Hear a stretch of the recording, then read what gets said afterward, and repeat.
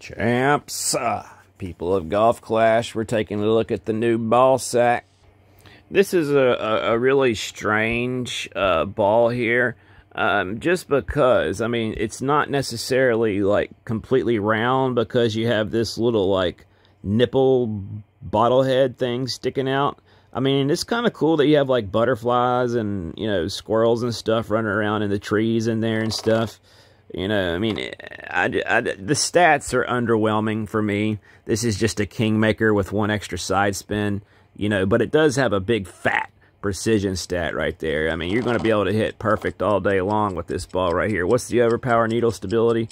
Plus three? Holy crap. Are you kidding me? Jeez, man.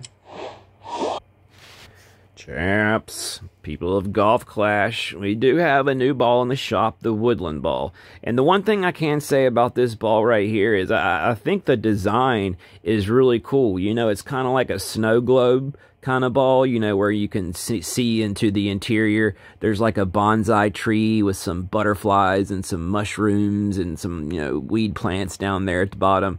And then it has this weird like nipple seal bottle cap in there in the top. So that that could present some problems when trying to like, you know, truly center up this ball right here. I mean, this is a really a gimmick ball in my opinion. But if you do play rookie, if you do play pro or expert, you know, to an extent, I believe this ball could help simply because it's a precision 5. I mean, look at the overpower needle stability plus 3. I mean, this is absolutely massive. This is probably one of the highest statted balls if you count in the plus 3. So uh, that's 8. That's 9, 10, 11, 12, 13, 14, 15 stats alone on the ball. And if you count in the plus 3, that's 18. I, I can't think of another stat. I can't think of another ball that has 18 if you count the plus three right there. So this is one of the highest statted balls there is. It just doesn't speak to me in the stats that I'm looking for. I would have happily traded some side spin away for some more wind resistance. If they would have flip-flopped those around and made it a side spin three, wind four, that would have been a beautiful, beautiful thing.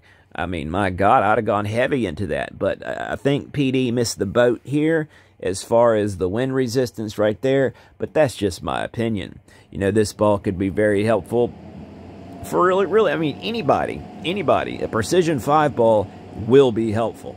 That's just a fact.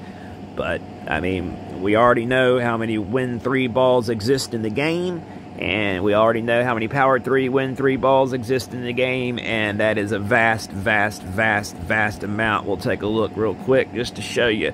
From your kingmakers all the way down to your lucky pots to I mean you, you, you name it. There's just there's just an untold amount of three three three or three power three win threes right there. Here we and some of some of them even have top spin boosts like the Easter ball and virtuoso that's a cool ball right there you know uh, I, I like this ball a lot the little peanut size ball that's a good one uh, then you got the, the fan favorite, the gargoyle ball right there. Everybody's favorite.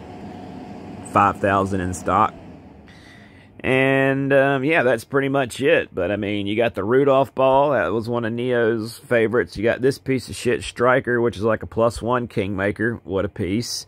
You got the Starfish, which is, you know, top spin boost. So, I mean, there are just so, so, so, so many. Then you got the old school Kingmaker right there. So, I mean, really, it just depends on, you know, your ability to hit perfect. And, you know, are you taking practice shots with Kingmakers and stuff like that? Well, if you are, this is going to save you some time because you're not going to have to worry about hitting a great or something like that. You know, you go ahead and take your practice with a precision. That way you know what your practice is. You go live with whatever ball you're going to play, and that way, you know, you've done your deal.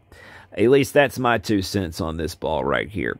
You know, depending on what level of tour play you have opened, it's not really going to help you in the checkpoint challenge. And if you're a low level tour player, then this ball might help you in the checkpoint challenge. Overall, I believe that a, a power three precision five ball is always going to be uh, helpful in the end, no matter what. But uh, for me, this is an easy no. Uh, just always interested to hear what you're going to do, champs. Let me know. Good luck to you.